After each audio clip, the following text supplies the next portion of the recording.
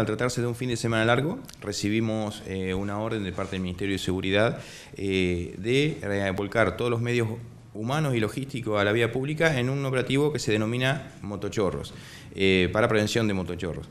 esto obviamente, esta directiva se dio a toda la provincia pero todos sabemos bien que nosotros no tenemos la problemática que tiene el conurbano, por lo cual eh, dicho operativo se adapta a la idiosincrasia de cada pueblo.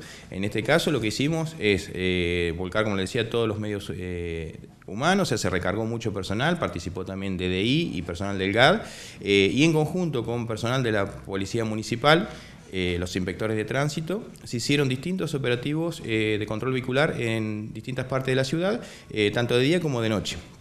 Eh, durante todo el fin de semana. El resultado fueron eh, varias infracciones de tránsito, ocho motos eh, secuestradas por dichas infracciones, lo que rondaba las infracciones más comunes que por las cuales se secuestraron las motos es por escapes modificados con los cuales hacen contraexplosiones, falta de licencia, perdón, falta, sí, falta de licencia de conducir, falta de seguro contra tercero que es obligatorio.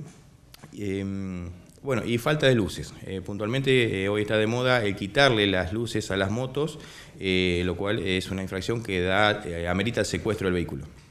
También se secuestró un auto. fue el sábado a la noche, sobre las 10 de la noche, fue detenido una persona que se resistió a que le secuestraran la moto, quiso agredir a una efectivo policial femenina. puntualmente esta persona se llama Carlos Bracamonte, de 35 años de edad, que fue aprendido y posteriormente el juez de garantía lo dejó detenido en virtud de que poseía antecedentes penales. Y una persona con domicilio en el barrio de Trompa, de 35 años de edad, que ya cuenta, como les decía, con distintos antecedentes penales, eh, que eso provocó que el juez de garantía eh, convirtiera su aprehensión inicial en detención.